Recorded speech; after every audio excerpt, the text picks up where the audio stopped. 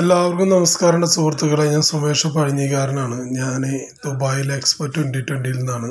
Indonesian പവലിയനിലാണ് പുറത്തുനിന്ന് നിൽക്കുമ്പോൾ തന്നെ ഒരുപാട് ഭംഗിയുണ്ട് കാണാൻ. ഇനി അകത്ത് എങ്ങനെയാണെന്ന് നോക്കിയിട്ട് വേണം പറയാൻ. അത്രയും വലിയൊരു ഒരു പവലിയനാണ് പുറമെന്ന് നോക്കുമ്പോൾ നമ്മുടെ ഇൻഡോനേഷ്യൻ പവലിയൻ പുറത്ത് ഒരു ചെറിയ ഡാൻസും കാര്യങ്ങളൊക്കെ ഉണ്ട്. അത് ഞാൻ വേറൊരു വീഡിയോയിൽ അപ്ലോഡ് ചെയ്തിട്ടുണ്ട്. കടൽ സംബന്ധമായിട്ടുള്ള കാര്യങ്ങളാണ് ഏറ്റവും കൂടുതൽ ഇവിടെ പ്രതിപാദിക്കുന്നത്. വളരെയധികം ഭംഗിയുണ്ട് കളർഫുള്ളാണ്.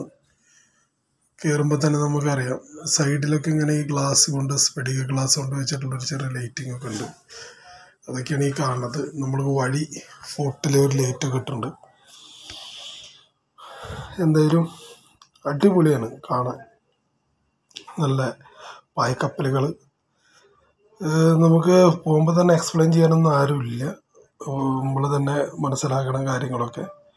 ഇത് നമ്മൾ ഈ ടി വി ഷോയിലൊക്കെ കാണുന്ന പോലെ ഈ പരിപാടികൾക്കൊക്കെ അതിന്റെ ഉള്ളിലേക്ക് കയറി ചെല്ലണം. അതൊരു ഒരു നമ്മൾ ചാനലുകളിലൊക്കെ കാണാറില്ലേ? വാർത്താ ചാനലുകളിലൊക്കെ. അതുപോലത്തെ ഒരു സെറ്റപ്പാണ് പക്ഷെ നല്ല ഭംഗിയുണ്ട്. കാണാൻ സാമാന്യം കുഴപ്പമില്ലാത്തൊരു സെറ്റപ്പാണ് ഈ കാണുന്നത്. ബോറടിപ്പിക്കില്ല ഇൻഡോനേഷ്യൻ പവലിയൻ പല മൃഗങ്ങളുടെയും അങ്ങനെ ഒത്തിരി ഒത്തിരി ഇത് അത്യാവശ്യം ഏരിയ ഉണ്ട് കേട്ടോ. ഓരോ ഡിസ്പ്ലേയിലും കാണുമ്പോൾ തന്നെ നമുക്ക് വളരെയധികം സന്തോഷമുണ്ട്. പിന്നെ അതുപോലെ തന്നെ നമുക്ക് ഈ കാലിന്റെ അവിടെ തന്നെ ഒരുപാട് ലൈറ്റുകൾ ഫിറ്റ് ചെയ്തിട്ടുണ്ട്. അതാണ് നമ്മുടെ റൂട്ട് ഇരുട്ടായ കാരണം നമുക്ക് ആ രീതിയിലാണ് മുന്നോട്ട് പോകാൻ പറ്റുള്ളത് ഇതൊരു ചെറിയ സ്റ്റേജ് പ്രോഗ്രാമാണ് നല്ല കളർഫുൾ ആയിട്ടുള്ള സ്റ്റേജാണ് നമുക്ക് കാണുമ്പോൾ തന്നെ നല്ല ഭംഗിയായിട്ട് ഒരുപാട് ഫോട്ടോസും കാര്യങ്ങളൊക്കെ എടുക്കാം. പക്ഷെ ഇങ്ങനെ കളർഫുൾ ആയിട്ടുള്ള സ്റ്റേജ് എന്ന് പറയുമ്പോൾ നമ്മൾ ഫോട്ടോ എടുത്ത് എത്ര ആയാലും അത് നമ്മുടെ ഒരു പിക്ചർ കറക്റ്റായിട്ട് കിട്ടില്ല. സ്ക്രീൻ വളരെ കളർഫുള്ളാവുന്ന മാത്രമേ ഉള്ളൂ.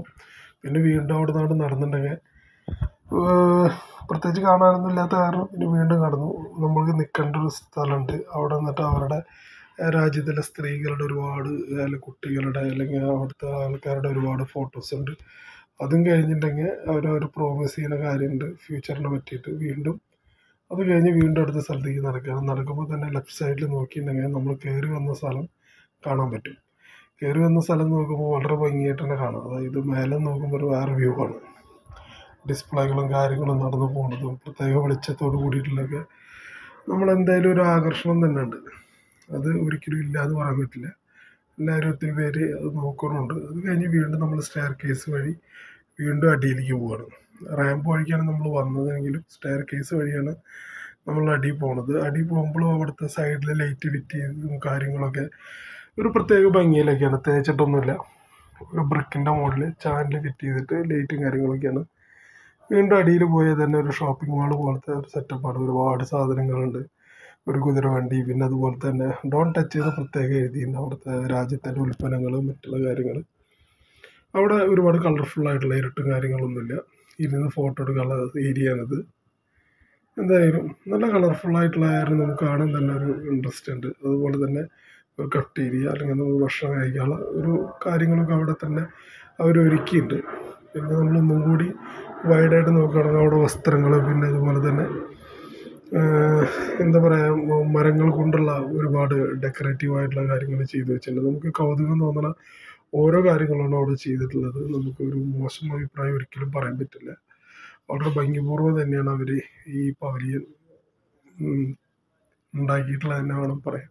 കാരണം പല പവലിയൻസും കണ്ടിട്ട് നമുക്ക് ഇതൊക്കെ കാണുമ്പോൾ ഒരു പ്രത്യേക അനുഭൂതിയാണുള്ളത്. ഇത്രയേ ഉള്ളൂ. അത് കഴിഞ്ഞാൽ നമ്മൾ വീണ്ടും പുറത്തിറങ്ങാണ്. വീണ്ടും നമ്മുടെ പാസ്പോർട്ട് പഞ്ച് ചെയ്യണം. ഇൻഡോനേഷ്യ എന്നുള്ള നല്ല കളർഫുള്ളായിട്ട് എഴുതിയിട്ട് ഇത്രയേ ഉള്ളൂ. എല്ലാവർക്കും നമസ്കാരം. അടുത്ത വീഡിയോയിൽ കാണാം.